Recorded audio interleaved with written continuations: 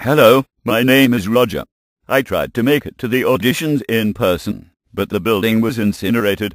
Hopefully you are still looking for members, because I am heavy metal. I am made of four parts steel and three parts titanium alloy. This is a picture of my cousin Tabitha and I. She knew me, since I was a little bunny. I was not always this way.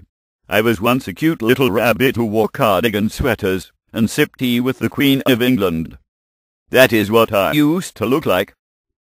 Until things took a turn for the wow or wow worst.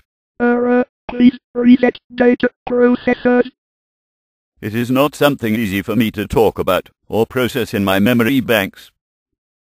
This is me at age zero zero one one zero zero zero one zero zero one one. I started drinking, and everything went downhill from there. I gained several pounds and became immobile, and soon my liver began failing. And worst of all, I could not do what I loved, which was play rock and roll music and pick up sweet bunnies.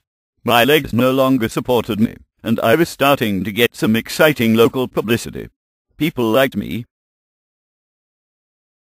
Eventually I was transported to a five-star restaurant. It was exciting at first.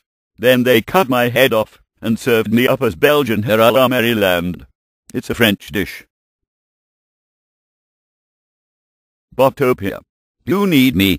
I was once raw, then cooking and now I'm heavy metal.